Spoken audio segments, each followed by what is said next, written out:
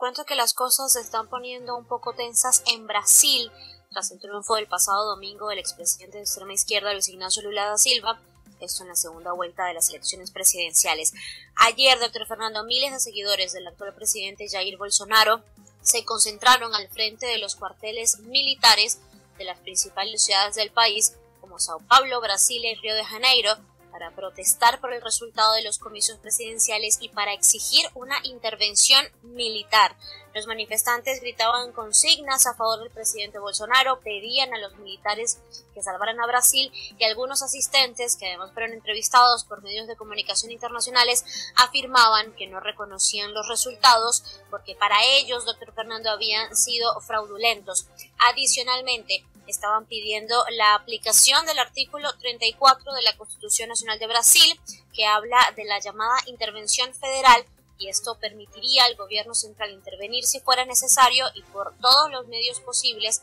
para garantizar la forma republicana, el sistema representativo y el régimen democrático, según se puede leer en ese artículo. Doctor Fernando, además, todos los manifestantes dicen sentir temor de que Lula da Silva lleve definitivamente el país al comunismo, implantando también un régimen parecido al de Venezuela y Nicaragua, cuyos dictadores, recordemos, son cercanos al líder de extrema izquierda brasileño. Por otro lado, están los camioneros y transportistas, doctor Fernando, quienes desde el domingo están bloqueando las principales vías del país, expresando su apoyo al presidente Bolsonaro y también pidiendo intervención militar. Según el último reporte de la Policía de Carreteras que dieron ayer, los bloqueos persisten en unos 150 puntos de 15 de los 27 estados del país y estos bloqueos pues han llevado por estos días a duros enfrentamientos con la fuerza pública. Algunos expertos, doctor Fernando, afirman que este fuerte clima de tensión se debe a que el presidente Jair Bolsonaro se demoró dos días en pronunciarse sobre el resultado electoral y además no ha reconocido la victoria de Lula da Silva, pese a que funcionarios de su gobierno ya lo han hecho y están dispuestos a comenzar con el empalme. Por estos hechos, el presidente Bolsonaro publicó ayer un video en sus redes sociales, en el que además se dirige a todos sus seguidores, especialmente al sector transportista, les pide por favor que levanten los bloqueos, que las manifestaciones deben ser pacíficas y no iguales a las que hace la izquierda, que siempre han perjudicado a la población por ejemplo con la invasión de propiedades, la destrucción de patrimonio y también cuando no permiten el derecho a la libre movilización. Recalcó que el bloqueo de vías no le parece que sea una manifestación legítima y les pide por favor manifestarse de otra forma y en otros lugares como en plazas, pues las protestas pacíficas sí son bienvenidas. También pues le agradeció todo su apoyo a los eh, pues eh, a sus seguidores y pues dijo también que estaba de acuerdo con ellos y que los apoyaba. Le seguiremos tomando el pulso, doctor Fernando, de esta situación en Brasil. Ojalá no pase a mayores. Un triunfo del 1% o algo parecido, un poco largo, un poco corto, da lugar a estas cosas. La gente piensa que hubo fraude y algunos pueden tener razón.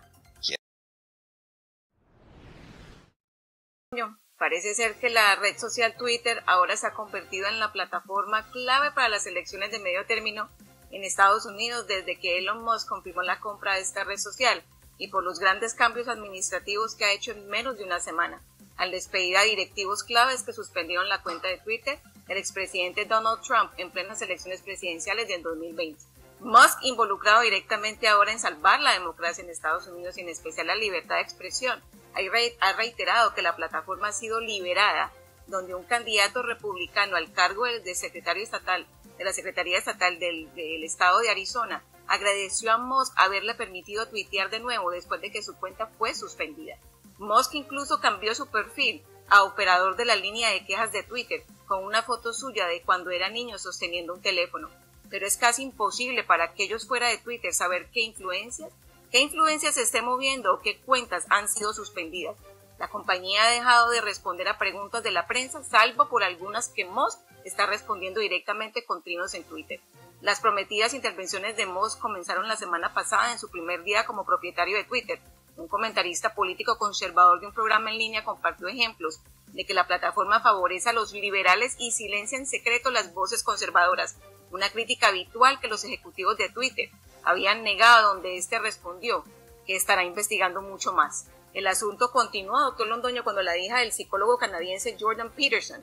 cuyas provocadoras críticas hacia la cultura de, lo políticamente correcto y el feminismo son populares entre activistas, solicitó a Elon Musk que restaurara la cuenta de su padre después de que un tweet sobre el actor transgénero Elliot Page aparentemente contravino las normas de Twitter sobre conductas de odio, donde Elon Musk escribió en su cuenta de Twitter lo siguiente, abro comillas, todas las personas suspendidas por motivos menores y dudosos serán liberados de la cárcel de Twitter. Una de las cuentas por las que más le han pedido restablecer es la del expresidente Donald Trump en menos de una semana de elecciones de medio término. Recordemos, doctor Londoño, que en plena campaña presidencial y siendo Trump el presidente, los directivos de Twitter tomaban la decisión de suspender la cuenta, mostrando una arrogancia y poderes extralimitados por solo percepciones y tendencias políticas de izquierda y sin ninguna evidencia ni argumento válido para censurar en la época al comandante en jefe del ejército de Estados Unidos. Una de las primeras grandes acciones de Musk fue dirigir una carta abierta a los anunciantes,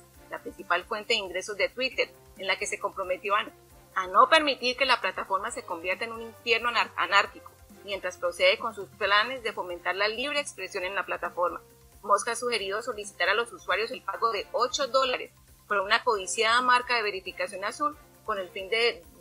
diversificar los ingresos. La marca de verificación es criticada como un símbolo de elitismo en la plataforma, pero su proposición y su propósito principal ha sido verificar que las cuentas ante la vista pública, como las de los políticos, marcas y periodistas, corresponden realmente a sus usuarios, ha sido una herramienta para impedir la suplantación y contener el flujo de desinformación. Hasta ahora Mox enfrentará una fuerte corriente de extrema izquierda que lo acusará seguramente de favorecer la tendencia conservadora y emprenderá una guerra para desacreditar la, plataforma que desde su inicio favoreció a todos los regímenes dictatoriales en el mundo. Grupos extremistas de izquierda y como Hezbollah, Hamas, Black Lives Matter, todos promotores de la violencia dentro, dentro y fuera de los Estados Unidos. Personajes comunistas tan tan controversiales y enemigos del mundo occidental capitalista como el narcodictador de Venezuela Nicolás Maduro, que tuvo siempre su cuenta de Twitter, jamás ha sido censurado. Lo mismo el hoy presidente de Colombia, Gustavo Petro, que desde su cuenta de Twitter incitaba al odio con el famoso estallido social,